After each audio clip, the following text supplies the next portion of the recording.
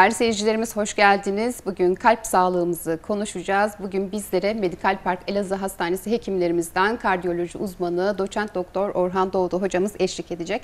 Kendisiyle beraber Covid-19'u konuşalım. Halk arasında çok yaygın özellikle Covid'in kalbi etkilediğine dair, bunun kalp krizine yol açtığına dair görüşler var. Bunu açalım istiyorum. Bir de bu aralar grip yoğunlukta ve grip aşıları gündemde. Grip aşılarını konuşalım. Tabii ki Covid'de dair aşıları da konuşacağız ve önümüz Ramazan. Malum Ramazan deyince bir beslenme, oruç, bunun kalp sağlığı, kalp hastalıkları üzerindeki etkilerini konuşalım ve vaktimiz yeterse kalp krizi konusunda ekledik. Sizlerin de sorularınız varsa numaramızın WhatsApp kısmını kullanıp yollayabilirsiniz ve değerli hocam hoş geldiniz. Hoş bulduk, teşekkür ederim. Şimdi konularımız çok güncel hocam. E, hemen Covid-19'da girelim istiyorum. Öncelikle e, hangi aşamadayız? Vaka sayılarımız düştü mü? Çünkü hocam şu anda çok rahatladık. Aşılarımızı özellikle yaptırdık ve çok rahatız. Maskeye, o fiziksel mesafeye, sosyal mesafe kavramına inanmıyorum. Fiziksel mesafeye artık dikkat etmiyoruz. Yani o eski temkinli halimiz kalmadı. Ve nedense artık bu hastalığın seyrinin de çok yavaşladığını düşünüyoruz. Hangi aşamadayız? Neler söylersiniz? Şimdi özellikle omikron e, varyantından sonra vaka sayılarımız çok arttı ama bu aralar aşılamalarla birlikte vaka sayılarımız azaldı. Fakat e, vaka sayıları azalınca maske yasağı özellikle insanlar kapalı olmayan ortamlarda maske yasağı ortadan kalktı. İnsanlar da buna bağlı olarak maske takmamaya başladı. Bunu kapalı ortamlarda da görüyoruz. AVM'lerde, hastanelerde de görüyoruz. Tabi bunlara dikkat etmek gerekir. Vakalarımız azaldı ama pandeminin bittiğini söyleyemeyiz. Belki aşıları biraz daha ağırlık vererek birazdan belki değineceğiz ama aşılarımızı tamamlamak lazım. Belki rapel dediğimiz tekrarlayan dozlarını yapmak lazım. Pandemideki vaka sayımız azaldı ama tamamen bitmiş, kurtulduk diyemeyiz. Bunun için biraz daha zaman gerekiyor. Evet ama çok rahatladık değerli hocam. Artık mesafe de yok, maske de yok. Evet maalesef öyle. Yine de bu kurallara dikkat etmek lazım. Belki açık ortamda maske takmayabiliriz ama kapalı ortamlarda mutlak suretle maske, mesafe ve temizlik kurallarına dikkat etmek gerekir. Aşı olmayanların da mutlak suretle aşıyı yaptırmaları gerekir. Evet. Değerli hocam şimdi Covid-19'a bağlı olarak aşılarımızı konuşalım istiyorum. Biz sizinle program öncesi hasbihal ettiğimizde aşı konusundaki hassasiyetinizi dile getirdiniz ve dört tane aşı olduğunuzu, iki tane Sinovac, iki tane de BioNTech aşımı oldum dediniz. Hatta aşı çıktıkça ben aşılanacağım dediniz. Bunu hani e, sonuçta e, seyircilerimiz şunu düşünebilirler. Ya ekran karşısında söylüyorsunuz acaba reklam arasında ne konuşuyorsunuz şeklinde. Bunu da seyircilerimize arz etmek istedim. Çünkü aşılara karşı hala muhalif görüşler var ve ısrarla aşı olmayanlar var. Covid aşılarını bir konuşalım hocam. Neler söylersiniz? Evet. Şimdi tabii ben Covid hastalığı geçirdim. Aşılar üretilmeden önce maalesef o dönemde 3 günlük de hastaneye yatışım oldu. Ağır bir Covid attım. Yaklaşık 15-16 günlük e, ağır semptomlar geçirdim. Tabii bu ağır hastalık seyrinden sonra e, öncelikle Çin aşısı e, ülkemize geldi. Ülkemize geldikten sonra ilk iki dozlu Çin aşısı daha sonra da BioNTech iki dozda BioNTech aşısı yaptırdım. Şimdi ben ağır atlattığım için ve bunun tek çözümünün de aşı olduğunu bildiğim için mutlak surette yaptırdık. Ee, ve bunu hastanemizde çalışan çoğu sağlık personelimiz de yaptırdı haklı olarak. Şimdi e, bizim ülkemizde e, ilk önce Çin aşısı Sinovac dediğimiz daha sonra Alman aşısı halk arasında Alman aşısı olarak bilinen BioNTech aşısı da geldi. En sonunda da kendi milli aşımız olan Türkovak'ta e, uygulanmaya başlandı. E, bu en son e, BioNTech'ten sonra belki bir antikor düzeyine bakılarak tekrarlayan dozlar gerekir mi? Ki et, e, bilim kurulu da bu konuda yeni dozların gerektiğini bildirdiğinde e, bunları da ben kendim açısından bir sağlık çalışan olarak e, yaptırmayı planlıyorum. E, artık elimizde çeşitli aşılar bulunmakta. Böyle bir fırsat varken bu hastalığa yakalanmama adına aşı yaptırmanın e, mutlak önemli olduğunu tekrardan altını çizmek gerekir. Evet. Hocam şimdi aşı ile ilgili şunu söylediler. Şimdi kalp krizi konusunu konuşacağız. Çünkü halk arasında çok konuşuluyor ve çok mütereddit olunan, korkulan bir konu haline geldi. Eskiden daha ziyade hani yaşlılarda görebildiğimiz ama şu anda özellikle erkeklerde ve genç skalada gördüğümüz veya bizlere o, o şekilde sunulduğu için insanların korkuları var. Onu konuşacağız ama aşıların kalp krizine yol açtığını söyleyenler var. Aşıların içeriğiyle ilgili birazcık konuşalım. Aşı olanlar da artık tedirgin. Acaba hata mı yaptık şeklinde düşünüyorlar. Aşılar masum mu tamamen? Şimdi tüm ilaçların olduğu gibi aşılarında mutlak surette yan etkileri var. Şimdi bizim ülkemizde hem ölü aşı hem mRNA aşıları var. Özellikle mRNA konusunda yani Alman aşısı konusunda yan etkilerinin özellikle kalp üzerindeki yan etkilerin biraz abartıldığını düşünmekteyim. Özellikle kalp krizi yapar mı, kalp miyokardit dediğimiz kalp kası iltihabı yapar mı diye halk arasında böyle yaygın bir inanış vardı. Bununla ilgili aslında bir veri açıklamak gerekir.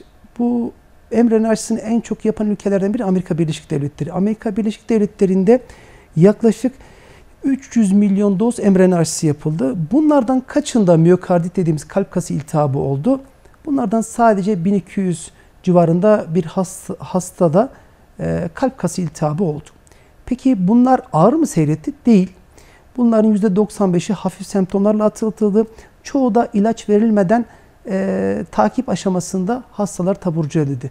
Bunlar özellikle ikinci doz aşıdan sonra ve aşılama yapıldıktan sonraki üçüncü günde belirtiler oldu. Hastaların çoğunda e, hafif kırgınlık, halsizlik, yorgunluk, kas ağrıları şeklinde atlatıldı. E, diğer %5'lik kısımda da bunların hastane yatışları oldu ama bunlarda ölümlü vaka olmadı. Şimdi bizim halk arasında en çok söylenen de işte kalp kas iltihabı yapmakta, bunlara bağlı ölüm olmakta. Şimdi 300 milyon dozla 1200 vakayı hesapladığımızda e, bunun çok çok az olduğunu düşünüyoruz. Şimdi e, gerek ilaçta gerek de gerekse aşılar kullanılırken yarar zarar ilişkisini düşünmek lazım. Şimdi 1 milyon kişi üzerinde düşündüğümüzde 1 milyon kişiye mRNA aşısı yapıldığında bunların yaklaşık 15 bin kişinin hastalıktan korunduğu, 4500'ünün hastaneye yatışının azaldığı, yine 750 civarında yoğun bakımın azaldığını bilmekteyiz aşılara bağlı. Bunlar aşıların olumlu etkisi. Peki olumsuz etkilerini 1 milyonda 2 ya da 3 kişide özellikle genç bireylerde, genç erkeklerde bu miyokardit dediğimiz kas kası iltihabının olduğunu görüyoruz. Şimdi yarar ve zarar ilişkisine baktığımızda yararın çok daha avantajlı olduğunu görmekteyiz. O yüzden bu aşıların faydası göz önünde bulundurulduğunda bu yan etkilerin bu yan etkilerin e, ihmal edilebilir düzeyde olduğunu düşünebiliriz. Başka halk arasında acaba aşılar kalp krizine yol açıyor mu? Bu sorular bize karşımıza sık gelmekte. Özellikle kalp kriziyle gelen, acile gelen ve anjiyo aldığımız, stent implantasyon yaptığımız hastalarda bu sorularla karşılaşıyoruz. Ya hocam ben bir ay önce aşı yaptım. Acaba bu aşıya bağlı mı kalp krizi geçirdim? Elimizde böyle bir veri yok. Gerek ritim bozukluğu, gerek kalp yetmezliği, gerekse kalp krizinde aşılara bağlı artış oldu mu? Böyle bir şey yok. Elimizde bunu aşıların bu hastalıkları artırına dair bir veri yok. Ee, ama bizim kalp hastalarında peki aşı yapmayınca ne olacak? Peki aşı olmayınca bu hastalığa bağlı sıkıntılar nedir? İşte basit bir e, halsizlik yorgunluktan tutun da solunum yetmezliği bu hastalarda sık görülmekte. Kalp hastalarında yoğun bakımları yatış, ölüm oranı, semptomların ağır seyredilmesi bu hastalara daha fazla. Dolayısıyla bizi de koruyacak tek e, yol aşılama. O yüzden aşılama bizim kalp hastaları için çok çok kıymetli.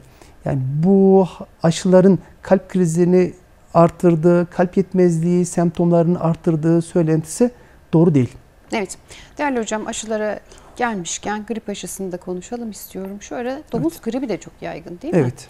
Grip aşısı ile ilgili neler söylersiniz? Şimdi grip aşısı bizim özellikle ülkemizde Ekim-Kasım ayında yapılan yine virüs aşısı.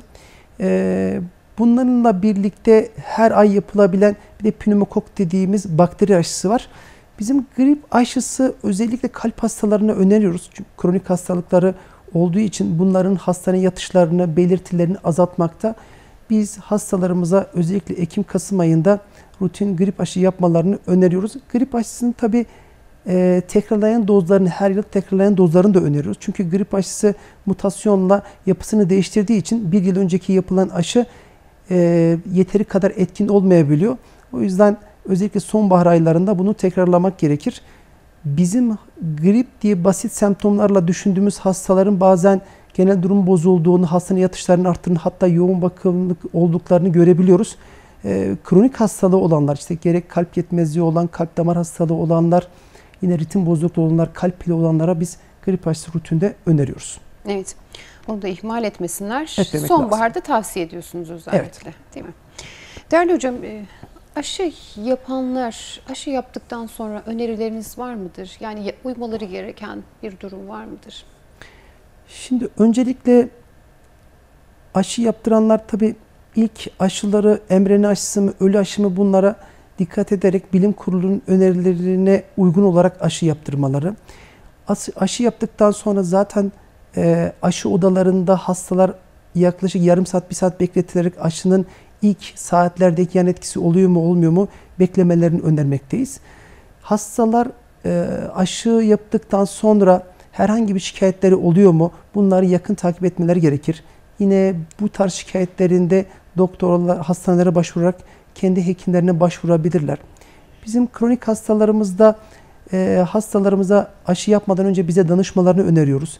İşte aşı yaptıktan sonra şikayetlerinde bir artış var mı? Beraberinde ateşleri oluyor mu? Eklem ağrısı, kas ağrıları, halsizlik, yorgunluk oluyor mu? Bunu e, bunları kendi hekimlerine danışmalarını öneriyoruz. Evet. Değerli hocam şimdi gelelim e, beslenme ve kalp hastalığı konu başlığımıza. Kalp hastalığı deyince aklımıza ilk suçladığımız belki yağlar, işlenmiş yağlar, tuz çok suçlanır ama ki beraberinde getirmiş olduğu aslında obezite diye düşünürüz. Beslenme ve kalp hastalığı ilişkili. Şu ilişkiyi biraz açar mısınız değerli hocam? Evet. Şimdi biliyorsunuz kalp damar hastalıkları dünya üzerinde en fazla ölüme sebep olan hastalık grubudur. Hala birinci sıradasınız Birinci sırada. Mi? Belki insanlar kanser e, kanserden dolayı ölümleri daha fazla e, insanların göz önüne gelebilir ama Dünya Sağlık Örgütü'nün yaptığı çalışmalarda hem ülkemizde hem dünyada en fazla ölüm sebebi kalp damar hastalıkları özellikle kalp krizi. E, dolayısıyla kalp krizine neden olan risk faktörlerinden biri de beslenme ve e, daha doğrusu sağlıklı beslenmeye bağlı olarak yapılan e, hayat şartlarının düzenlemesi diyebiliriz. Ne gibi e, kurallara dikkat etmemiz gerekir beslenmede? Bizim bu bölgede de ülkemizde de Akdeniz tipi beslenmeyi biz kalp sağlığı açısından öneriyoruz. Nedir bu? İşte tahıllardan, baklagillerden, taze sebze meyveden, zeytinyağından zengin, e, kırmızı etten, süt ürünlerinden daha az e, daha az olan besinleri öneriyoruz. E, onun dışında beslenme şartlarımızın biz e, kalp sağlığına göre ayarlanması öneriyoruz. İşte beslenme e, beslenme derken işte hastaların günde 2-3 litre civarında su tüketilmesini, e, daha çok kızartılmış besinler yerine daha çok sebze meyve ağırlıklı e, fırınlanmış e, besinler öneriyoruz. E, bunun dışında e, katı yağlar, kırmızı et özellikle e, işlenmiş e, etler ve yağların e, kullanımını özellikle kalp hastalarına önermiyoruz. Tabi bunlarla birlikte bu doymamış yağ dediğimiz, yağ asitlerinden oluşan yağlar dediğimiz e, besinlerin tüketimini bizim yine kalp sağlığı için tehlikeli olan kolesterol yüksekliğine sebep olmakta. Kolesterol yüksekliğinin en önemli sebeplerinden biri özellikle kötü kolesterol dediğimiz LDL kolesterolün yükselmesinin sebeplerinden biri de yine bu beslenme alışkanlığımız. E, bu beslenme alışkanlığını düzenleyerek sağlıklı beslenme ve sağlıklı kilo alımına dikkat ederek e, kalp hastalığımız üzerindeki riskleri azaltmış olabiliriz. Değerli hocam şimdi bazen bakıyorsunuz karşıdaki kişi zayıf, böyle e, şişman değil. Hani şişmanlığı, obeziteyi birinci sıraya yerleştiririz ya evet. kalp rahatsızlığındaki risk faktörlerinde. Ama kişiye bakıyorsunuz çok zayıf olduğu halde kolesterolü yüksek çıkabiliyor. Şu hatta biz kendi aramızda şunu da deriz. Hani yemek yedikten sonra şöyle bir ağırlaştıysa, uykusu geldiyse acaba senin kolesterolün mü yüksek gibi bir soru yöneltiriz. E, kolesterol, yüksek kolesterolün belirtilerini bir konuşalım. Şu ince zayıf tiplemelerde neden kolesterolü görebiliyoruz? Bazen bize bu tarz söylenenler de geliyor hastalarımız tarafından. Ya benim kilom yok. Sigara içmiyorum. Şeker hastalığım yok. Ben niye kalp krizi geçirdim? Ve benim damarlarım niye tıkalı? Şimdi tabii kalp damar hastalıklarının sadece sebebi obezite değil. İşte kişilerin aile öyküsünün olması belki kalp damar hastalık riskini 2,5-3 kat arttırmakta. Yaşın erkeklerde 45 yaş üstünde, kadınlarda 55 yaşın üstünde olması bu riskleri arttırmakta. Bununla beraber biraz önce dediğiniz gibi obezite, yüksek kolesterol değerleri, e, fiziksel aktivitenin az olması, beraberinde şeker hastalığı, tansiyon hastalığının bulunması bu kalp damar hastalığı riskini arttırmakta. Tabii kolesterol sadece yemekle veya yiyeceklerle alınan veya yüksekliği olan bir problem değil. Şimdi biliyorsunuz iyi kolesterol, kötü kolesterol var. İyi kolesterol dediğimiz HDL kolesterol zaten vücudun yapmış olduğu bir kolesterol. Ama kötü kolesterol tek başına dışarıdan alınan yiyeceklerle ilişkili değil. Elbette ki doymamış yağ asitlerinden zengin besinler alınımında kırmızı et tüketimi fazla olduğunda LDL kolesterolün yüksek olduğunu görüyoruz. Ama bunun işin içinde aile öyküsünün olduğunu, onun dışında hala bilmediğimiz sebepler olduğunu unutmamak lazım. Tabii ki dediğiniz şikayetler olanlarda kolesterol yüksekliğini bekliyoruz. Kolesterol yüksekliğiyle birlikte işte kişilerde obezite de ve şeker hastalığı beraberinde tansiyon hastalığı da birlikte oluyor. Dolayısıyla hem kolesterol hem şeker hastalığı hem tansiyonun obezitenin beraber olması da kalp damar hastalığı riskini arttırmakta. Aslında bunlar içe geçmiş problemler ama bir kişide zayıf olmasına rağmen kolesterol yüksekliği olabilir. Genelde bunlarda ailesel bazı hastalıklar var. Bu hastalıklara bağlamak uygun olacaktır. Değerli hocam aslında modernleşme ile beraber hem hastalıklar, mevcut hastalıkların oranı da arttı. Farklı hastalıklar da geldi diye düşünüyorum. Şimdi baktığımız zaman hemen hepimiz araç kullanıyoruz. Çok kısa mesafelerde bile yürüyüş yapmıyoruz ve ekstra hayatımıza sporu almıyoruz. Ki spor, o bedensel hareket sizler için de çok önemli değil mi? Sizin alanınız için. Evet. Onunla ilgili de konuşalım Şimdi istiyorum. aslında belki bu pandemiyle ilişki olarak toplumda bir fiziksel aktivitenin azaldığını da söyleyebiliriz. Aslında sağlıklı beslenme ile birlikte sağlıklı fiziksel aktivitenin yapması da kalp sağlığı için çok önemli. Nedir bu fiziksel aktivite? Dengeli beslenme ile birlikte dengeli e, kilo alımı diye tarif edebiliriz. E, fiziksel aktivitenin aslında çocukluktan her tür büyük yaşlara kadar belli aralıklarla düzenli olarak yapılması uygun olacaktır. Belki pandemi şartları, hava şartları bizim fiziksel aktivitemizi engelleyebiliyor ama artık pandeminin azalması nedeniyle, hava şartlarının iyileşmesi nedeniyle bu fiziksel aktiviteye biraz daha ağırlık verilebilir. Hastalar bazen soruyor işte fiziksel aktiviteyle ilgili ne yapalım, ne önerirsiniz? Bizim kabaca önerdiğimiz şudur. Haftada 4 günü en az 4 gün olacak şekilde en az yarım saat tempolu yürüyüş önermekteyiz. Buna biz orta düzeyli egzersiz diyoruz. Tabi bazı hastalarımız sporcu oldukları için ağır egzersizler de yapabilirler. İşte koşudan tutun da e, yüzmeye kadar yapabilir ama toplumda en yaygın önerdiğimiz haftada en az 4 gün olacak ve her seferinde yarım saati geçecek şekilde tempolu yürüyüş önermekteyiz. Fiziksel aktivitenin e, düzenli olarak yapılması hem obeziteyi engelleyecektir, şeker hastalığı olanlarda kan şeker regülasyonu sağlayacaktır. Yine tansiyon olanlarda ilaç kullanılmasına rağmen e, tansiyon düşmesine sebep olacak. Yine kalp sağlığı açısından da çok önemli avantajları olacaktır. Hocam şimdi e, mevcut kalp hastalığı olanlar mütereddit davranabilirler. Acaba ben yürümesem mi, kalbimi olumsuz etkiler mi şeklinde. Onlara yönelik neler söylersiniz? Şimdi kalp krizi geçiren kişilerde biz ilk günlerde bunlara egzersiz önermiyoruz. Özellikle hastaneden taburculuk sonrası bunlara istirahat öneriyoruz. İstirahat özellikle bir aydan sonra ilaçlarını düzenli kullandıktan sonra bir ay kontrolden kontrolden geçiriyoruz. Hastaların eğer bir aktif şikayeti yoksa ilaçları düzenli kullanıyorsa birinci aydan sonra artık bunlara düzenli egzersiz öneriyoruz. Tabii biz bu hastalara ağır efor gerektiren egzersizler önermiyoruz. Hastaların artık tempolu yürüyüşlerini yapmalarını, işte yüzme biliyorlarsa yüzebilmelerini öneriyoruz. Aksine bu hastaların fizik aktivitenin artması hastaların kardiyak performansını arttırmakta, hayata bakış açılarını değiştirmekte, kolesterol değerlerini düşürmekte, belki beraberinde tansiyon hastalığı, şeker hastalığı varsa bunlarda da yeteri kadar düzenleme sağlamakta. Biz kalp hastalarına birinci aydan sonra düzenli egzersiz öneriyoruz. Evet değil mi? Yani zaten hocam hangi hekimimizle konuşursak şunu söylüyorlar. Mutlaka günlük yarım saat işte dediğiniz gibi 4 gün olabilir, 5 gün olabilir. Yarım saat mutlaka yürüyün.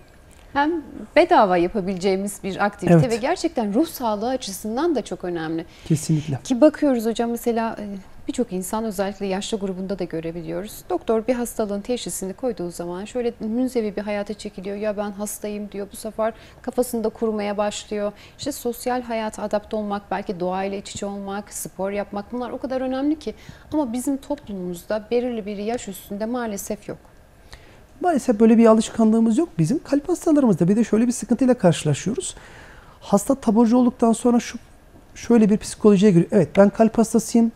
Benim hayatımda belli kısıtlamalar olacak. İşte ben ilaç kullanacağım. Şunu yapmamam gerekir. Bunu yapmamam gerekir. Kendi kendilerine böyle kurgulama yaparak bu sefer bakıyoruz hastalara depresyon klinikleri başlıyor. Evet. Depresyon semptomları başlıyor. Bu hastalarda tabii e, belli dönemlerde egzersiz yapması, sosyalleşmesi kalp sağlığı açısından da avantajlı oluyor. Biz hastalarımıza ısrarla bunu öne- öneriyoruz. Hastalara diyoruz evet siz kalp hastasısınız ama sizin hayatınızda bir kısıtlama gitmenize gerek yok. Eskiden ne yapıyorsanız e, fiziksel aktivite olarak ona devam edebilirsiniz. Seyahatlerinizi yapabilirsiniz. Ziyaretlerinizi yapabilirsiniz. Kendi işinize dönebilirsiniz. Ama belli kurallara dikkat ederek işte kontrollerinizi aksatmadan, ilaç kullanımınızı aksatmadan bu fiziksel egzersizlerinize devam ederek normal hayatınıza devam etmeniz gerekir. Hastalara bunu söylüyoruz. Hastalar zaten egzersiz yaptıktan sonra geri dönüşleri bize çok olumlu oluyor. İşte hocam biz yürüyüşe başladık. E, yürüdükten sonra ben kilo vermeye başladım. Tansiyonlarım kontrol altına alındı. Şekerlerim eskisi kadar yüksek değil. Ben kendimi daha çok mutlu hissediyorum. İyi ki ben egzersize başlamışım ve buna da devam etmeye çok kararlıyım diye bize olumlu geri dönüşler oluyor. Bu da hekim olarak bizi mutlu etmekte. Evet. Değerli hocam şimdi çalışma arkadaşlarınızdan onkoloji uzmanı Süleyman Hoca'yı programa konuk almıştım. Evet. Söylemiş olduğu ifade o kadar önemliydi ki şunu söylüyor. Spor yani kemoterapi alan hastalarım diyor. e, Eş zamanlı olarak spor yaptıkları zaman ilacın etkinliği o kadar fazla oluyor ki yani yürüdüğünüz zaman yani parmak uçlarınıza kadar oksijen gidiyor ve bu hastalıkları bile aşağı çekme açısından o kadar önemli diyor ki yani bu, bu sözün üstünde söz var mı düşünebiliyor musunuz? Kemoterapinin bile etkisini arttırıyor. Bu Kesinlikle. kadar önemli. Çok önemli. Ee, insanlar bir de kanser psikolojisine girdiklerinde gerçekten hem kendilerinde hem etrafında ailesinde mutlaka biz böyle depresyona eğilim görüyoruz. Ama bunlarda evet siz hastasınız. Bu hastalığınızın tedavisi var. Biz bunu başarıyla yapıyoruz. Siz bu hastalıktan kurtulacaksınız. Lütfen normal hayatınıza devam edin. Toplumdan elinizi eteğinizi çekmeyin denir. E, Bunlara egzersiz önerdiğimizde hastaların tedavi başarıları daha yüksek olmakta. Sadece bunlar onkoloji hastalarında değil, kalp hastalarında, şeker hastalarında, tansiyon hastalarında, çoğu hastalıkta biz bunu görüyoruz. Hastalar hayata daha çok olumlu bakmakta ve dolayısıyla hastalıkla mücadelede bize ciddi bir güç kazandırmakta. Evet. Değerli hocam şimdi gelelim önümüz Ramazan. Sizin işiniz de biraz zor olacak Evet. galiba. Ramazan'la beraber ısrarla ben işte ibadetimi yapacağım, orucumu tutacağım diyen bir kesim var. Onlara yönelik konuşalım. Şimdi Ramazan geliyor. Hasta gruplarınıza göre de bir değerlendirelim. Nasıl geçirsinler, neler yapsınlar, oruç tutamayan kesim hangileri olmalı? Şimdi bu Ramazan'a doğru evet bizim hastalarımın çoğu bu soruyu soruyor. Tutalım mı tutmayalım mı? Biz de aslında e, kalp hastalarına oruç tutsun ya da tutmasın diye genelleştirmiyoruz. Daha çok biz hastaların kliniğine, şikayetlerine göre, hastalığına göre, ilaç kullanım seviyesine göre biz buna karar veriyoruz ve hastalara da diyoruz ki evet siz bize sorun, biz beraber değerlendirelim. Oruç tutup tutmayacağınıza beraber karar verelim. Biz onun dışındaki hastalarımıza da aslında önerimiz budur. Kendi doktorunuzla konuşun. Kullandığınız ilaçları hastalığınızın evresine göre e, buna karar verin. Yani biz orucun tutup tutmasını hastanın kendisine göre bireyselleştiriyoruz. Peki e, oruç tutsun mu tutmasın mı kalp hastaları? Biz eğer hastalar işte son bir ay içerisinde kalp yetmezliği nedeniyle hastaneye yatış varsa, aktif şikayetleri devam ediyorsa, yeni son bir yıl içerisinde kalp krizi geçirdiyse işte buna stent takılma olayı veya bypass öyküsü olduysa, kontrolsüz hipertansiyonu varsa biz bunları oruç tutmalarını önermiyoruz. Peki e, bunun yanında başka hastalıkları var mı? Örneğin bizim kalp hastalarının büyük kısmında şeker hastalığı olur ve şeker hastalığının tedavisinde insülin tedavisi kullanılıyorsa zaten bunlara önermiyoruz. Bir de tabii orucun tutulduğu mevsime, döneme göre de değişmekte. Örneğin sıcak yaz dönemlerinde hastaların sıvı ve tuz kaybına bağlı olarak şikayetler artabilmekte. Bunlara şöyle bir öneride bulunuruz. Diyoruz ki Sizin tutmanız riskli olabilir ama çok tutmak istiyorsanız 1-2 gün deneyin. Eğer tutamıyorsanız, zorlanıyorsanız lütfen tutmayın. Ama bizim hastalar genelde e, bu kış ya da bahar döneminde çok zorlanmıyorlar ama biz onlara şöyle bazı önerilerde bulunuyoruz. Örneğin oruç tutacaksanız e, mutlak suretle sahura kalkın. Sahur önünüze atlamayın.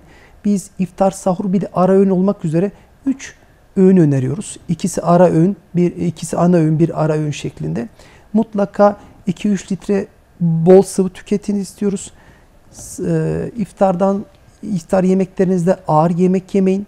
Bu arada eğer iftar yediğinizde iftar e, yemeklerinizde ara böyle e, öncelikle ilk yemeğe başladığınızda ikinci yemeğe başlamadan önce biraz ara verin dinlenin. Ondan sonra tekrar yemenize devam edebilirsiniz. Mutlak suretle sahur öğünüzü atlamayın. Bu arada e, bizim kullanılması zorunlu olan ilaçları aksatmadan kullanmalarını öneriyoruz. Onlara ilaçlarını bir kısmını e, iftardan sonra bir kısmı sahurdan önce kullanmalarını öneriyoruz. Yine de hastalarda eğer bir şikayetiniz olursa işte sizin e, kalp hastalıklarınızla ilgili belirtilerin olursa mutlak surette bize danışın ve oruç tutmakta ısrar etmeyin diye kendilerinde önerilerde kendilerine önerilerde bulunuyoruz. E, hastalarımız da genelde ilk 2-3 gün tutuyorlar, bakıyorlar. E, genelde bize danışıyorlar. İşte oruç tuttum 2-3 gün bir sıkıntısını görmedim, devam etmek istiyorum. İlaçlarımı da kullanıyorum. Düzenli sıvı su ve sıvı tüketimine e, dikkat ediyorum. Bu şekilde e, oruç tutmalarında sakınca yoksa biz de tutabilirsiniz diyoruz. İşte özellikle iftarda kızartılmış, kavrulmuş yiyecekler yerine daha çok fırın, e, daha pişmiş yemekler, daha çok sebze, meyve ağırlıklı besinler öneriyoruz. İşte iftarda gazlı içeceklerden kaçınmalarını öneriyoruz. Bu şekilde bazı kurallara uyarak hastaların genelde kendilerine göre tutup tutmayacaklarını kendilerinin karar vermesini istiyoruz. Değerli hocam şimdi bunları konuşuyoruz ama hakikaten iftar hoca ezanı okuduktan sonra insanın gözü dönüyor. Hemen saldırıyorsunuz her şeye. Evet. Şöyle e, çorbasını içtikten sonra bir müddet bekleyen kaç kişi vardır diye düşünüyorum. Evet aslında denildiği gibi doktorun dediğini yapın ama ha, doktor yapayım onu da bilmiyoruz ama tabii biz hastalara bunu öneriyoruz. Kalp hastalarımız aslında e, belli bir dönemden sonra kurallara uyuyorlar. Biz bunu görüyoruz. E, işte bir çorba içtikten sonra biraz ara verin. O aradan sonra diğer ana yemeğe geçebilirsiniz. Belki hani eğer e, sıvı tüketecekseniz veya meyve tüketecekseniz hemen ana yemekten sonra tüketmeyin. Bunu ara öğün olarak da tüketebilirsiniz. E, doyduktan sonra çok abartı yemeden kalkabilirsiniz. İşte beraberinde ana öğünle beraberinde gazlı içecek lütfen tüketmeyin. Hastalarımız aslında bu kurala uyuyorlar. Çünkü kendileri uymadıklarında rahatsız oluyorlar. Birkaç gün sonra bu kurala uyuyorlar aslında. Değerli hocam şimdi iftar sofrasını gerçekten çok abartıyoruz ya. Hemen üstüne şöyle bir şekerleme yapasımız geliyor. Hepimizde olabiliyor. E şimdi mevcut kalp hastalığı olmayan kişilerin de çok dikkat etmesi gerekiyor. Evet. E, bu tür durumlar onlar üzerinde de etkili. Hatta Ay, kalbim sıkıştı diyenler de var. Çok Doğru. mu yedim bilmiyorum o şekilde diyenler de var. Şimdi aslında sadece kalp hastaları değil hepimizin dikkat etmesi gereken işte yemek yedikten sonra 2 saat yat 2 saat boyunca yatmamak hatta e, uzanmamak gerekir. Çünkü yemekler midede sindirilirken mide asit düzeyi artmakta. Bunlar e, yemek borusuna geçerek bu reflü dediğimiz belirt reflüye yol açarak işte bazen e, karında veya boğazda yanma, e, kuru öksürük, rahatsız olma, halsizlik gibi şikayetlere yol açabilmekte. E, gerek kalp hastalarına gerek sağlıklı bireylerde yemek yedikten sonra yatmamalarını, 2 saat dinlenmelerini, oturmalarını öneriyoruz.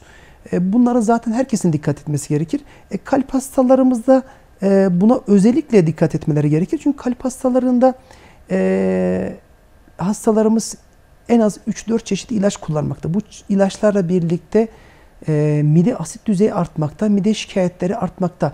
E, bu midedeki yiyecekler sindirilmeden bir de e, hastalar yattığında bu şikayetler daha çok artmakta. E, biz genelde en az 2 saat yemekten sonra lütfen uymayın, uzanmayın diye önerilerde bulunuyoruz.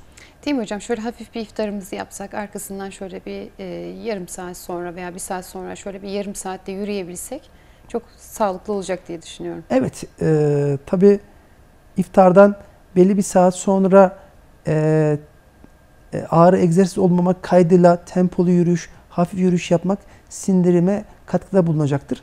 E, sindirimin kolaylaşması kalp hastaları açısından da e, önem arz etmekte. E, çünkü bizim hastalar yemekten yarım saat, bir saat sonra artık ilaç kullanmaya başlamakta. Kendilerinin kullanması gereken ilaçları. Dolayısıyla e, bu ilaçlara bağlı olarak mide şikayetleri de azalmakta. Bunları da biz hastalarımıza öneriyoruz. Evet. İnşallah onlar da yapacaklardır. İnşallah. Değerli hocam şimdi gelelim kalp krizi konusuna. Şimdi gerçekten artık e, medyada çok duyuyoruz. Sağdan soldan çok fazla duyuyoruz. Özellikle erkekler arasında ve genç erkekler arasında kalp krizine bağlı ölümleri duyuyoruz ve Covid-19'un içerisinde olduğumuz için aşılarla beraber acaba tetiklendi mi? Niye bu kadar fazla? Hani aslında algıda seçicilik diye bir kavram vardır ya hocam. Şu anda belki de algıda seçicilik de yapıyoruz. Neden? Çünkü biraz önce siz söylediniz. Hala dünyada ölüm nedeni olarak ilk sırada e, evet. kalp rahatsızlıkları geliyor dediniz. Yani insanların en çok korktuğu hastalık aslında kanser diyebiliriz ama yine de kalp hastalıkları birinci sırada. Belki de algıda seçicilikten dolayı diye düşünüyoruz. Evet. Hocam e, hem bu bağlantıyı konuşalım, akabinde kalp krizinin nedenlerini konuşalım. Evet. Şimdi kalp krizinden önce aslında kalp e, kalpten bahsetmek gerekir. Kalp günde ortalama 100 bin defa atan, vücudun ihtiyacı olan 800 litre kanı vücuda pompalayan bir organ. Şimdi kalp krizi ne demek? Kalp krizi damar tıkanıklığına ve damarın ciddi darlığına bağlı olarak kalp kasının hasar görmesi olarak tarif edebiliriz. Dediğiniz gibi dünyada ve ülkemizde en fazla ölüm sebebi kalp damar hastalıkları ve kalp krizi. E, çünkü e, bizim de tabi bu aralar belki dikkatimizi çekmekte Covid ve pandemi döneminde e, kalp krizi hastaları zaten e, yaygındı. Belki pandemide biraz daha dikkat çekildi. Acaba pandemiyle ilişkili olabilir mi diye ama zaten kalp krizi e, oranı çok yüksekti. E, örneğin şöyle açıklayabiliriz. Trafik kazalarından 30 kat daha fazla ölüme yol açmakta. E, ve bu giderek de artmakta. Dünya Sağlık Örgütü'nün 2030 yıl 2030 yılı için yaptığı bir tahmin var. Her e, yıl 23-24 milyon kişi kalp damar hastalığından hayatını kaybedecek gibi bir öngörüsü var. Bu oldukça yüksek. E, gerek dünyada gerekse ülkemizde oldukça yüksek. Peki kalp krizi nasıl oluyor? Dediğim gibi damar tıkanıklığına veya damarın ciddi darlığına bağlı olarak kalp kasının hasar görmesi. İşte bunun ne gibi risk faktörleri var peki? Kimler kalp krizine, e, kimler kalp krizi açısından daha riskli? Biraz önce de bahsettiğimiz gibi e, yaşla birlikte bu risk artmakta. İşte erkeklerde 45 yaşın üstü, kadınlarda 55 yaşın üstü bu riskler artmakta. Aile öyküsünün olması, dengesiz beslenme, fiziksel aktivitenin yetersiz olması, obezite, hipertansiyonun olması, şeker hastalığının olması, özellikle sigara ve tütün ürünlerinin tüketimi, alkol tüketimi bu riskleri arttırmakta. Belki son zamanlarda e, sizin de belirttiğiniz gibi biraz daha dikkatimizi çekti genç hastalarda kalp krizinin olması. E, tabii bunun çeşitli sebepleri var. En önemli sebeplerinden biri sigara ve tütün ürünlerinin tüketilmesi. Bununla ilgili 2012'de yılında yapılmış Dünya Sağlık Örgütü'nün bir çalışması var. Bununla ilgili dünyada yaklaşık 1 milyar kişi sigara ve tütün ürünlerini tüketmekte. E, dolayısıyla kalp krizinin ve kalp damar hastalıklarının artmasının en önemli sebeplerinden biri de sigara ve tütün ürünlerinin tüketimi. Bununla birlikte alkol tüketimi e, bu kriz riskini tetiklemekte. Yine dengesiz ve dengesiz beslenmeye bağlı fiziksel aktivitenin azlığına bağlı olarak obezite, bununla birlikte hipertansiyon ve şeker hastalığının olması da bu riskleri arttırmakta. Kalp krizi peki nasıl e, ortaya çıkıyor? Hangi belirtilerle evet, ortaya belirtiler. çıkıyor? Şimdi genelde kalp krizi e, göğüs ağrısıyla birlikte göğüsün ortasında baskı tarzında sıkıştırıcı vasıfta bir göğüs ağrısıyla başlamakta. Bu ağrı sol kola, çeneye, omuzlara yayılabilmekte. Ama bununla birlikte terleme, çarpıntı, nefes darlığı, halsizlik, yorgunluk, baygınlık olabilir. E, bunlar tabi genel olarak hastalarda gördüğümüz şikayetler ama e, kalp krizinde bazen e, yaşlarda hiçbir şikayet olmadan da karşımıza gelebiliyor veya maalesef ani ölümle de karşımıza gelebiliyor. Biraz önce belirttiğiniz gibi e, genç hastalarda hastanın herhangi bir e, belirtisi olmadan kısa süre önce başlayan bir göğüs ağrısı sonrası maalesef ani ölümlerle de karşılaşabiliyoruz. Peki bununla ilgili bu risk faktörleriyle mücadele edebilir miyiz? Bazı risk faktörleri var ki e, bunları kendi elimizde değiştirebiliriz. E, genetiği belki değiştiremiyoruz. E, anne babayı değiştiremiyoruz ama işte en önemli risk faktörü sigara ve tütün üzerine dedik.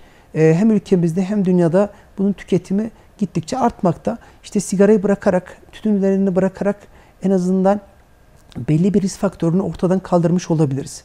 Ee, yine e, alkol tüketiminin olması bu sıklığı arttırmakta. Alkol tüketiminin ortadan kaldırılması veya sıklığın azaltılması da yine bu risk faktörlerini azaltmada önemli bir etken. Yine dengeli beslenme, fiziksel aktiviteden biraz önce bahsettik. Bunlar fiziksel aktivitenin artmasıyla birlikte obezite azalmakta, insanların tansiyon ve şeker regülasyonu daha kolay sağlanmakta. Dolayısıyla diğer risk faktörlerinde kısmen faydalı olabilmekteyiz. Bununla birlikte e, beslenme dedik. İşte beslenmenin dengesi olmasıyla birlikte işte et ve e, et ve doymamış yağ asitlerinden zengin yağlardan beslenmeyle birlikte kolesterol artmakta. Kolesterol artışı da bu kalp krizini e, riskini arttırmakta. E, dolayısıyla kalp krizi şu anda en önemli ölüm sebeplerinden olduğu için insanların bu risk faktörleriyle ciddi mücadele etmesi gerekir. Peki bu belirtiler olduğunda hastalarımız ne yapmalı? Eğer böyle belirti olduğunda e, mutlak suretle acil bir durum olduğundan e, mutlak suretle ambulans e, haberdar edilmedi. Belki etrafındaki insanlara şikayetlerin başladığı buna göre tedbir alınması belirtilmeli. E, sıkı giysi giydiyse bunların gevşetilmesi gerekir. Bazı yanlış inanışlar var. İşte göğüs ağrınız olduğunda, kalp krizi şüpheniz olduğunda e, işte kalk, kalkıp egzersiz yapabilirsiniz. Böyle bir şey doğru değil. Yine sıcak suya veya soğuk suya e, ellerin yıkanması veya işte kafanın yıkanması e, böyle inanışlarla karşılaşıyoruz. E, bunun da kalp krizi riskini azaltmadığını zaten biliyoruz. E, bunun yapılmasına doğru görmüyoruz. Bunun dışında ambulansa haber verilerek bir an önce e, hastaneye e, başvurulması en önemli e, yapılması gereken e, kuraldır. Şimdi neden önemli? Eğer bir kişide göğüs ağrısı başladığında ve kalp krizi şüphesi varsa ne kadar erken hastaneye, sağlık kuruluşuna başvurduğunda e, kalbin göreceği hasar o kadar azalmakta. Bunun için biz eğer böyle bir şüpheniz varsa derhal 112'ye haber vererek ambulans hizmetlerinden faydalanın ve e, hastanenin acil servisine mutlak surette başvurulmasını öneriyoruz. Evet. Değerli hocam şu anda kalp krizleri e, insanları çok tedirgin ettiği için ve sağdan soldan kulaktan dolma çok fazla bilgi var ve insanlar kendi kafalarına göre kor aspirin kullanmaktalar. İki günde bir kullanan, bir gün e, günlük kullananlar var ve şunu söylerler e, aspirin kanı sulandırdığı için olası bir kalp krizinin önüne geçiyor şeklinde düşünceler var. Neler söylersiniz bu konuda? Şimdi kalp krizi şikayetleri biraz önce belirttiğimiz eğer belirtiler varsa hasta kendisi daha önceden de kalp krizi geçirdiyse ve e, bu şikayetlerinden eminse evde olan aspirini kullanması faydalı olabilir. Ama biz bu kişilerin rutinde aspirin kullanmasını önermiyoruz. Peki kimler aspirin kullansın, kimler kullanmasın? Eğer daha önceden bir kalp damar hastalığı varsa, bunun yanında inme öyküsü varsa, böbrek damar tıkanıklığı varsa, bacak damar tıkanıklığı, daha önceden işte bypass olduysa, kalp damar tıkanıklığına bağlı stent konulduysa bunların kullanmasını zaten öneriyoruz. Ama onun dışında sağlıklı bireylerin bazı risk faktörleri varsa o tür durumda kendi doktorun önerisiyle kullanabilir. Evet aspirin kalp damar hastalığına faydalı ama aspirin yan etkilerini e, eğer burada hani abartmadan konuşursak bile insanlar aspirin kullanmaktan imtina edebilir. E, basit bir yan etkisini söyleyeyim. Alerjiden tutun da mide kanamasına yol açabilir. O yüzden herkesin kendi kafasına göre aspirin kullanmasını önermiyoruz. İşte belli bir yaşın üstünde bazı biraz önce saydığımız kalp damar hastalığı açısından risk faktörleri varsa biz bunlara kendimize zaten öneriyoruz. Ama böyle bir risk faktörü yoksa, e, herhangi bir şikayet yoksa bununla birlikte düzenli olarak aspirin kullanmasını önermiyoruz. Zaten Dünya Sağlık Örgütü de yine pandemi döneminde e, Sağlık Bakanlığımızın bilim kurulu da böyle bir şey önermekte, önermemekte. Evet. Değerli hocam kalp krizi üzerine aslında belki de çok konuşulabilir. Hatta şey bile duydum yani sen gizli kalp krizi geçirmişsin şeklinde söyleyenler bile var. Doğru mu hocam bu? Kişi farkında olmadan kalp krizi geçirmiş olabilir mi? Geçirebilir. Bizim bu acil kalp krizlerinde bile hastalar fark etmeden acil kalp krizi geçirmiş olabiliyor. Böyle gruplar var mı? Var. İşte örneğin diyaliz hastalarında hasta ağrısını fark etmeyebilir. Yaşlı hastalarda fark etmeyebilir. Yine yoğun ağrı kesici alan hastalarımızda hasta kalp krizi geçirip farkına varmayabilir. Onun dışında bazen hastalarımızda damar tıkanıklığı olabiliyor ama çok alevli bir tablo olmuyor. Basit ağrılarla, basit şikayetler olduğu için hasta belli bir zaman sonra hastaneye geliyor. Hastaneye geldiğinde evet yapılan tahlillerde hastanın kalp krizi geçirdiğini, bunun hasta tarafından fark edilmediğini biz de görüyoruz. Ee, şikayetleri olmadan e, değerlendirildiğinde damar tıkanıklığına rastlayabiliyoruz. Hatta buna koroner anjiyografi yaptığımızda da damar tıkalı olduğunu hastaya belirttiğimizde hastalar buna şaşırıyor. Ya benim bir şikayetim olmadı. Ben işte şu şu sebeplerden geldim ama beni buraya gönderdiler. EKG'mde problem vardı. İşte benim nefes darlığım vardı. Benim göğüs ağrım olmadı ama kalp yetmezliğinden bahsettiler. Hastalar da buna şaşırabiliyor. E, böyle tablolarla karşılaşabiliyoruz.